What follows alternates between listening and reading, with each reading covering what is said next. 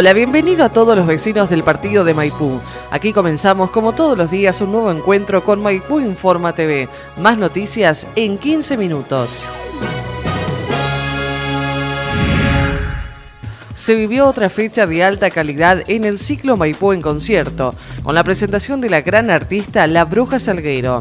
Con un repertorio amplio de música folclórica, la cantora junto con su grupo de excelentes músicos pasó por el ciclo que organiza Cultura del municipio. Estuvimos en la actuación de La Bruja y aquí les dejamos parte del concierto para que puedan disfrutar del extraordinario espectáculo.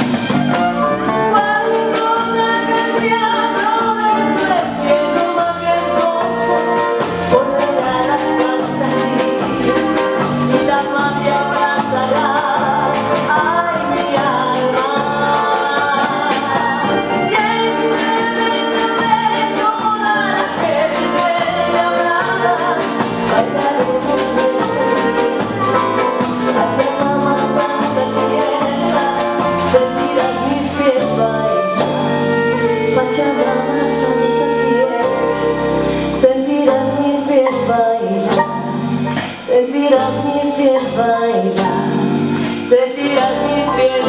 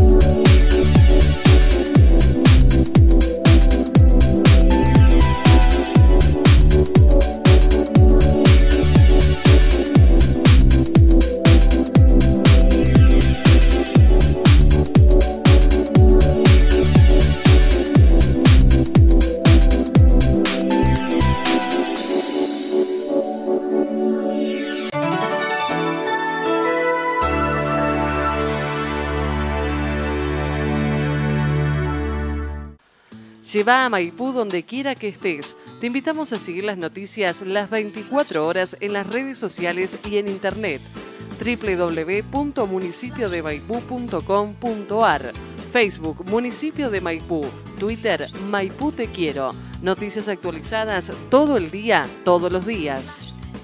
Maipú Te Quiero limpio. Por favor, saca la basura en bolsas bien cerradas y fuera del alcance de animales. En Maipú, lunes a sábados de 7 a 13 y también los lunes, miércoles, jueves y sábados de 13 a 19.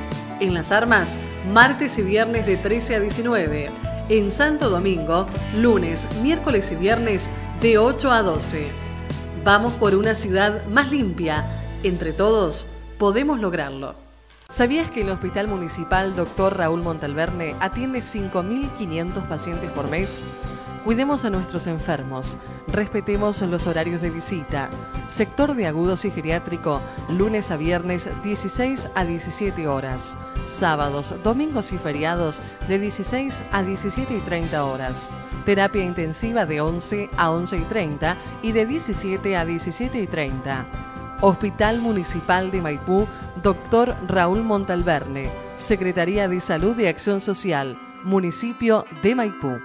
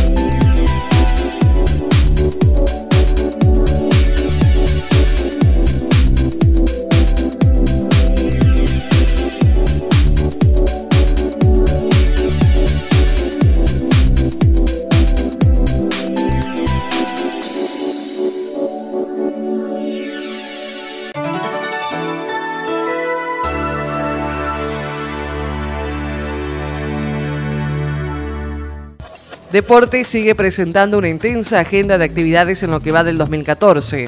Estuvimos con Nahuela Portilla y nos cuenta los detalles.